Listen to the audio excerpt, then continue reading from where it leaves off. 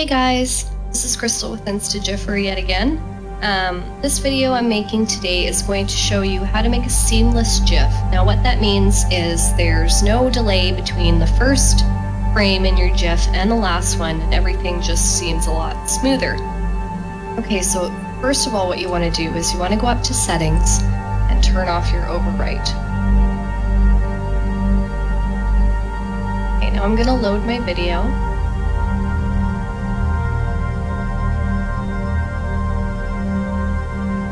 Okay, so I'm gonna want to zero in on where I want my GIF to be. So I'm just gonna change box here.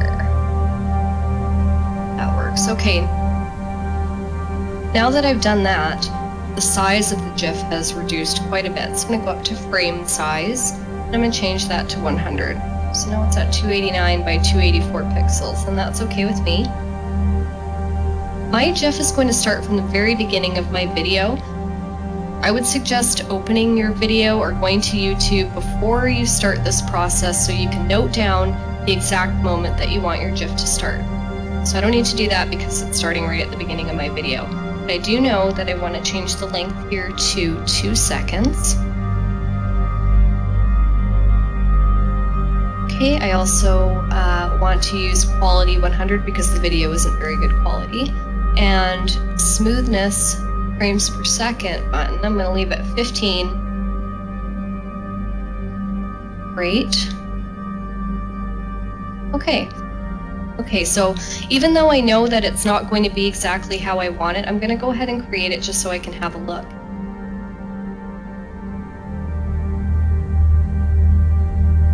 Okay, so it's telling me that it's quite a bit too big for Tumblr. Um, that's okay for now because I know that I'm going to be removing frames, so no problem there. Okay, so this is definitely not seamless. There's quite a bit of a delay between the first frame and the last frame. So I'm going to go ahead and start removing frames from the very beginning. I'm also noticing that it's looking kind of jolty up in the corner when you can see the stairs. So I'm going to remove all the frames where those stairs are in there. Okay, so we want to take out this one, this one, this one. Okay, so you can't really see stairs in that one. Now, a good way to preview your GIF before you create it is to hit this button over here. That'll loop your GIF for you. Now I'm not liking where the box is, so I'm going to go ahead and move that box. Bigger. Okay. I'm to go ahead and create it so I can have another look. Again, I know that it's to be too big for Tumblr and I'm not too worried because there are quite a few more frames that I'm to have to remove to make it seamless.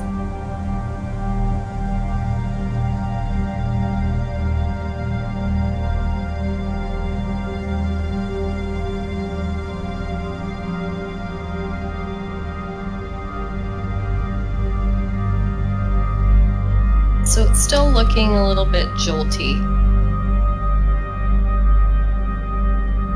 And it's too far to the right, so I'm going to just move it over a bit more there.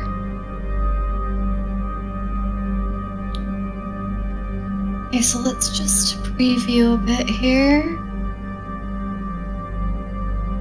Now I'm noticing that in the last frame, I'm kind of in the middle but in the first frame, I'm quite a bit to the left. So I'm gonna take out that one. Okay, let's see what it looks like now. Um, this is all about experimentation.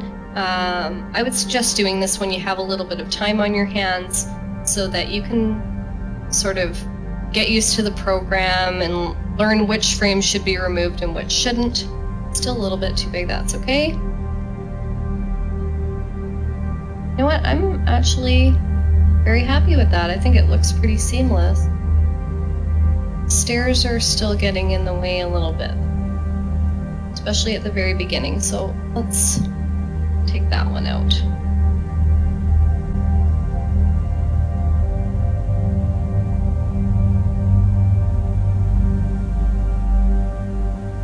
It's only a little bit too big for Tumblr now, that's fine. You know what? I'm very happy with that. I could take out one more frame though at the very end, which would bring it under the Tumblr limit. So let's go to the very end. Take that one out. Oh, let's see.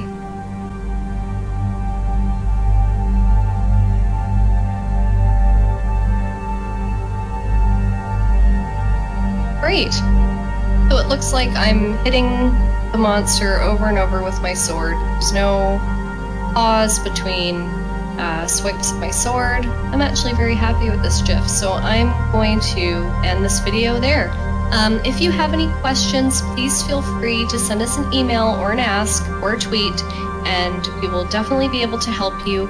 Um, if there are any requests for videos where you'd like me to show you how to do certain things with Instagiffer, please feel free to send those over as well. I hope this video was helpful to you, and I hope you have a great day. Thanks, guys. Bye.